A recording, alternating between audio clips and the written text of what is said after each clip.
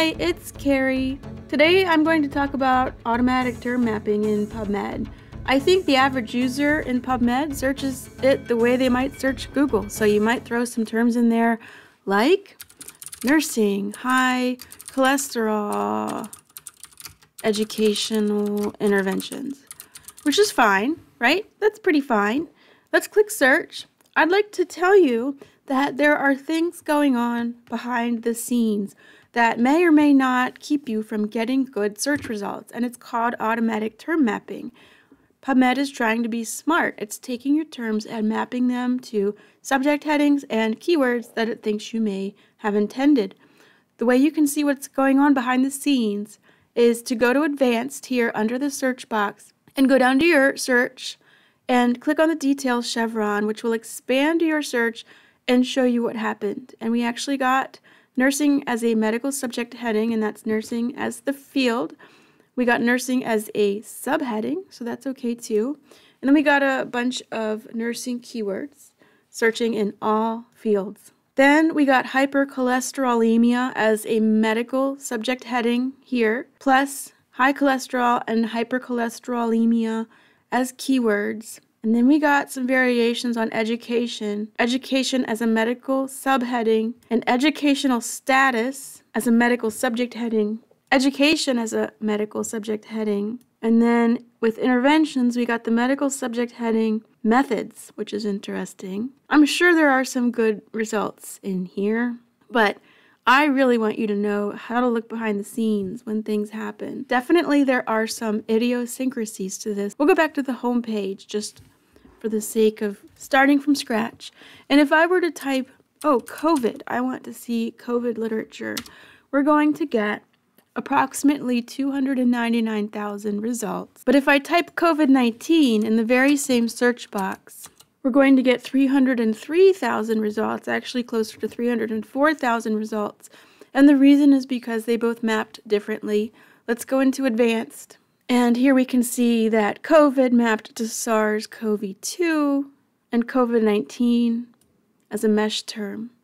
And then COVID 19 mapped, wow, to a lot of other terms that we did not see with the COVID search. So if you were searching for COVID literature, probably best to enter COVID 19, looks like. Now, sometimes this can work and sometimes it doesn't. Again, I'll go back to the home page and I'll just show you some other examples. Let's say we were aware of a drug called Promacta and we wanted to see some trials for the drug.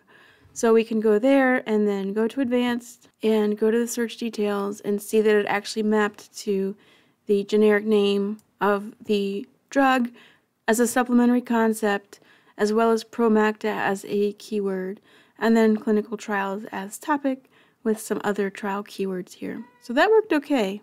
Let's say we were looking at nursing in infants whose mothers are HIV positive. And here we get some results. And we go into advanced and click on the search details chevron and see that again it mapped to nursing the discipline.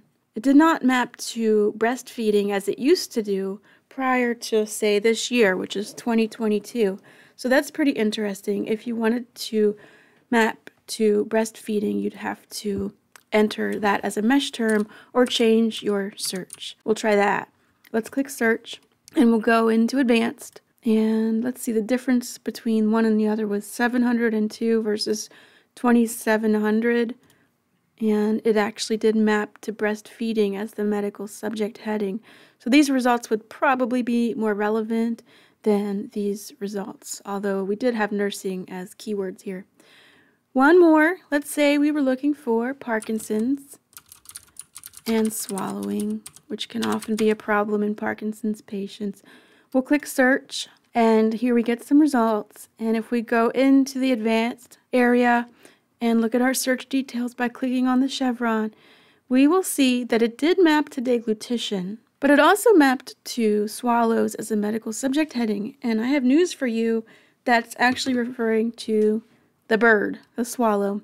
So if you were looking at these results and you saw some things come up about birds, you would know to look at your automatic term mapping and see what's going on. I wanted you to know about automatic term mapping, it's important to understand what's going on behind the scenes in PubMed. And sometimes this can help you, sometimes it can hinder you. If you're searching for literature in PubMed, good luck. Thanks for watching.